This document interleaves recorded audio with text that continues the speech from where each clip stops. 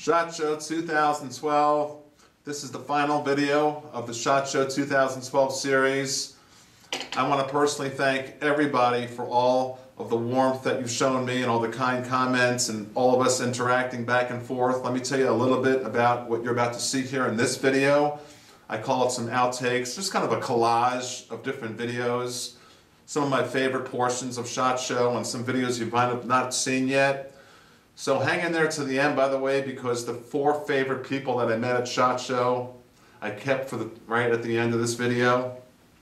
There's two people I want to mention right now that really helped make the whole experience happen because it doesn't just just happen. It turned out to be a much more larger project than I anticipated. It was more difficult than I anticipated, but I think I think we nailed it. I think uh, I'm happy with all the footage we got, and um, I'm really appreciative to have been a part of SHOT Show 2012. A gentleman named Dino, I'm going to start off with him in no particular order. There's two people I'm going to mention right now. And over the next month, I'll mention some other people who I care about a lot. But So if I don't mention your name now, I will get to it. But for now, there's two people that really were part of this whole experience and really made it happen. Dino, Adam Ador, his link is below. Dino is one good soul. Dino, you know you put all the flight arrangements together, you and your wife, and you made everything really happen, and you kept your word, which was not only to be, of course, kind of nice, and, and but to help me record. So all of the videos that you've seen over the past few weeks that I've uploaded was was recorded mostly, some of it was by me, but mostly by either Dino or another person named Anthony, I'll get to in a moment. But at least go thank these two gentlemen, because if it wasn't for them, it wouldn't have happened. The whole experience wouldn't have been what it was. Now, Dino, Adam Ador, link is below, had the flu the first day. And this, this, this stand-up guy meets me in the morning. He goes, oh, he's white as a ghost, he's sweating. He goes, I'm, I'm not doing good. I said, go to, your, go to your hotel room, go get some rest. I mean, all of us only slept like two hours last night. We're exhausted. He goes, Tom, I gave you my word. I'm going to come here and help you record. And I'm going to, I'm going to stick it out. And he did. And Dino, I want to personally thank you. And at least everyone should all, all go to his channel and thank him for being a videographer and for, and for walking miles and miles with me and helping me and assisting me to get the interviews that we did get. So Dino, Adam, Adore, link is below. Subscribe if, if you like his channel. And he's really good for the gun community. He's a close friend of mine. I plan on flying out to see him and doing some stuff out there in Kansas City. And uh, the second person is Anthony. I've known him for a, a, pretty good time now, and he lives here in South Florida. He's the person who ships all the ballast all, and him and I flew together, uh, Southwest Airlines, out to Vegas. And um, I got to thank Anthony also. Uh, Perchico 520, his link is below. At least go thank him. If you like his channel, go ahead and subscribe, but at least thank him for assisting me with all the video content. It'll make them feel good. You know, these two guys, they were right by my side the whole time. And I also want to thank my wife. She doesn't, she's not here now, but I want to thank her because she'll see this video. I was gone almost a week, pretty much a whole week, and uh, she stayed behind, took care of the kids. Thank you, Tammy. I love you, and uh, that means a lot to me. Now, of course, her and I will get back to all the normal videos that you're, you're accustomed to seeing here at Weapons Education. What you're about to see now is a video of, of just some different outtakes, um, a collage of different videos, and uh, let me know what you think, throw in your input. I kept the best for last. You might have seen some of these clips, like I said, maybe not, but the, the most prominent four people that I think I met at SHOT Show 2012, I, I put some of their video clip here at the end of this. So thank you so much from me to you. I really do care about all of you. All the interaction, it's just huge. And I think we're all going to really see this channel expand, the whole gun community expand. And we need to let politicians know, we need to let the anti-gun people in the world know that we do exist. And we're going to make the gun community a better place. It just takes all of us to be kind and nice to each other and get along. And we've been doing that. So thank you so much. enjoy some of the, the video clip you're about to see. I care about all of you. I mean, I really do. This that was that was a good time going to Shot Show and bringing all those videos to you. I hope you enjoyed them as much as I enjoyed making them. Thank you so much. Welcome to WeaponsEducation.com.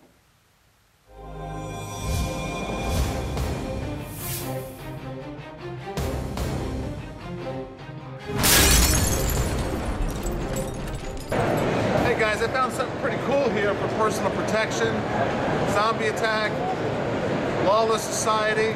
Look at this spear, designed by Kit Rae. You may have heard of him. Really cool. You can take out the belly, you can take off the head, go through the gut. Whatever you gotta do with this baby here.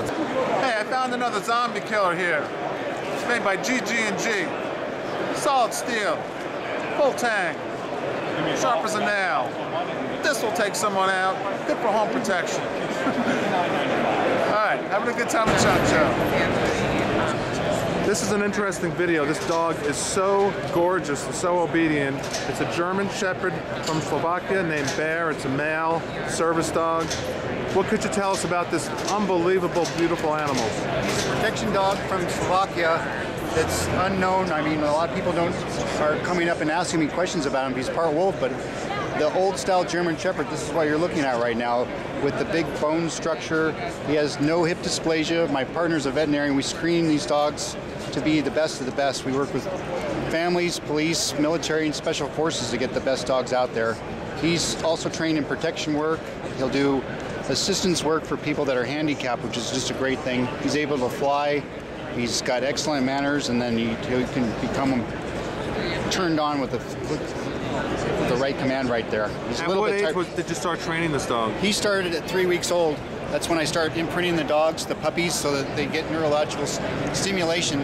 They're brought into the world where they can have all these different factors brought in to their life. They can be exposed to different kinds of sounds, gunfire, explosions. I do things with training at night that nobody else does in the protection business at all with dogs. I'm kind of unique with what I do. Just absolutely gorgeous. Just beautiful. Big guy. Well, thank you, Alex, for that interview. Thank you very Just much. a beautiful, beautiful German Shepherd. I'm gonna miss you, boy, big guy. Huh? oh, you're a little bit bigger than my Pomeranian. All right. I thought you- Hey, do you guys think you have patience? Are you calm? Are you jittery sometimes? Take a look. He's pretty calm, isn't he? He's relaxed. Boy, if he was hunting, I don't think a deer would even know he's standing there. Is he breathing? Is he alive? Is he a mannequin? Isn't that amazing, guys? I'm here. All right, I don't know how you do it. It's pretty amazing. Pretty amazing. Good job. Tips. Look at that.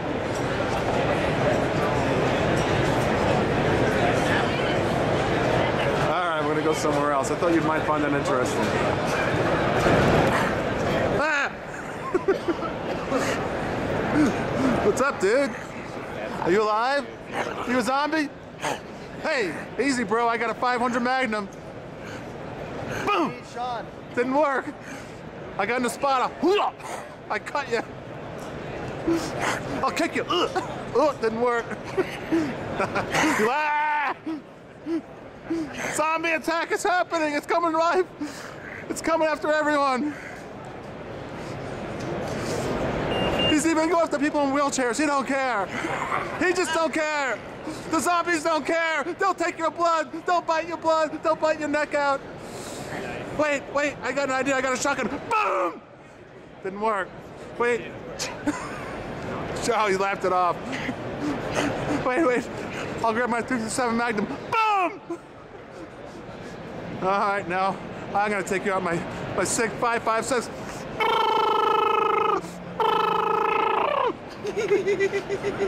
oh God! Ah!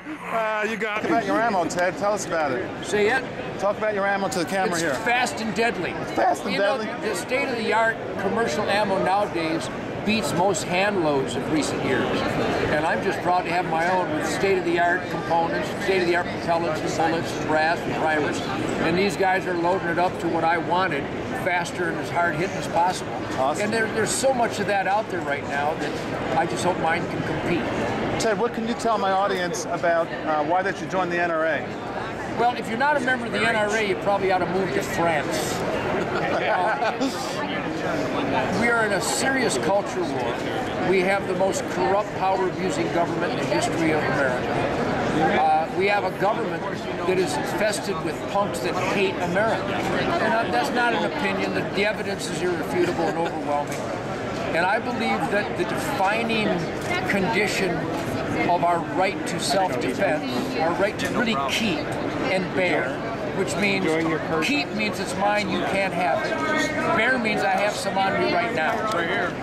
If that's compromised, you are not a free man.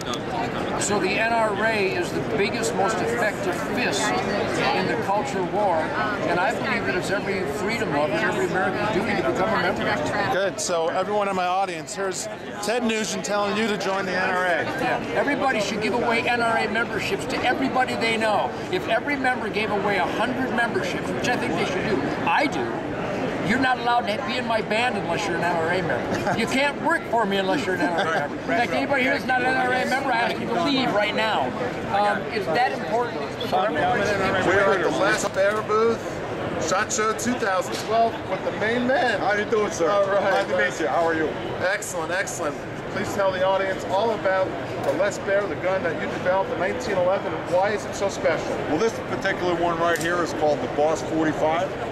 And since I'm a gearhead, uh, we like, I came out with this pistol complimenting the Boss 429 Mustangs. And we have a lot of people interested in this particular firearm. So it's chrome plated on the bottom. It's all hand built, one at a time. Blued on the top. It has adjustable sights. Hard fit barrel. Hard fit slide. Everything on this particular firearm is hand fit. And that's why they're so accurate. Talk about that. Um, how many people does it take to make that gun? Uh, right now we got probably actually 20 to 23 in the shop building these guns one at a time. And after they're completely built, do they get fired? Yes, Accuracy? about 120 to 150 rounds is put through every custom 1911 we do. Okay. And uh, what year did you start your company? Uh, right around 1976. All right. And then once it just took off, It huh? started very slow and it got to where we're at today. You pretty much do mostly 1911s. A lot of custom 1911s and then some semi-automatic custom rifles too. And then what separates your 1911s from other high-end 1911s? The, the quality we feel, we have everybody beat for the cost of the money. For the cost of the money. Right. What does this cost approximately? This one is right around 2100 2100 That's a buy. I have a lot of firearms, and yours is going to be my next purchase. Well, thank you, sir. And I just, I love everything about your company, and the viewers do also. Cool. I'm glad you like it.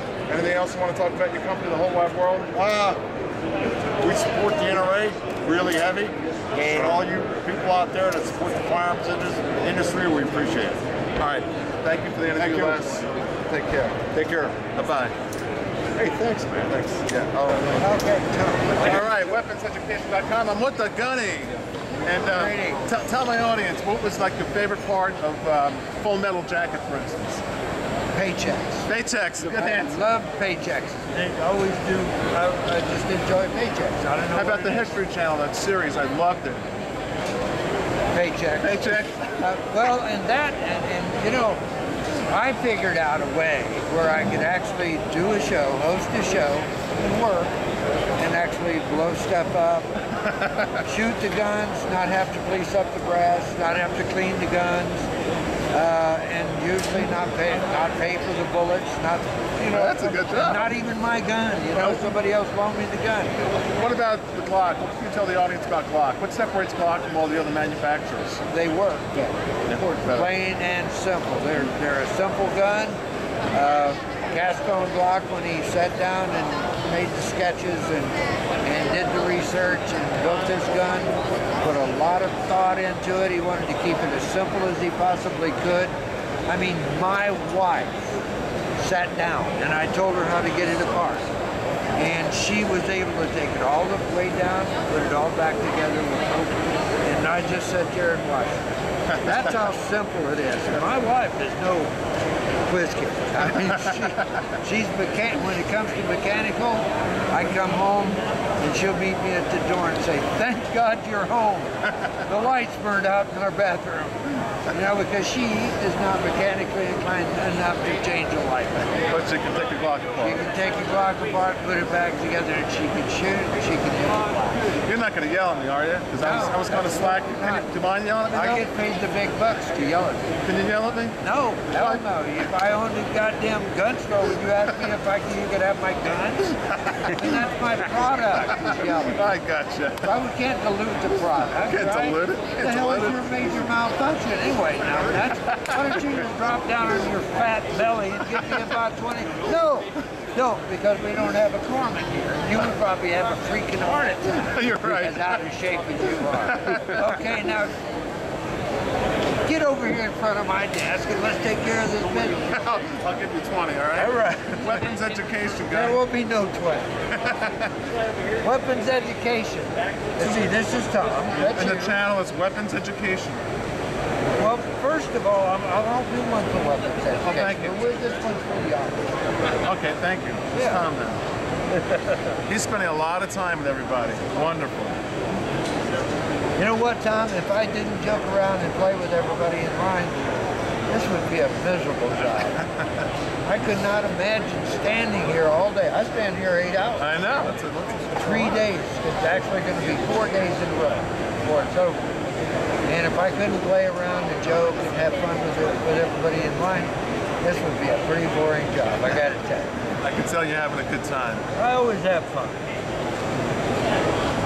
It's all about having fun and, of course, paychecks. Paychecks. You like those paychecks, huh? Paychecks are important, yeah.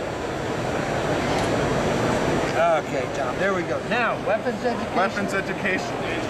Is that your company? That's my channel on YouTube. Ah. So everybody worldwide will be checking this out. Education. A U C H G E D U C E D U. U Yeah. C A T I O N. I O N. I O N. You got it. There you go. But I did get him to yell at me for the record.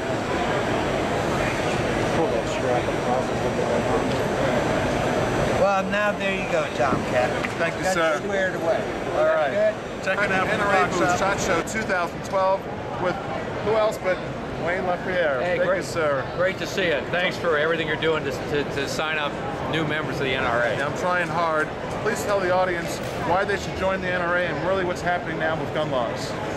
Well, I mean, the main reason to join the NRA right now is the fact that we're about our membership and giving voice to our membership. And if there's ever a time to be a member of the NRA, it's now. This is probably the most dangerous election in our lifetime for the Second Amendment. The truth is, it could break the back of the Second Amendment, and we need to be out there defending freedom. The fact is, if we don't work hard between now and the election and stand up for these rights, we'll go to our grave not getting back what we've lost in the next four years under a second term Obama administration.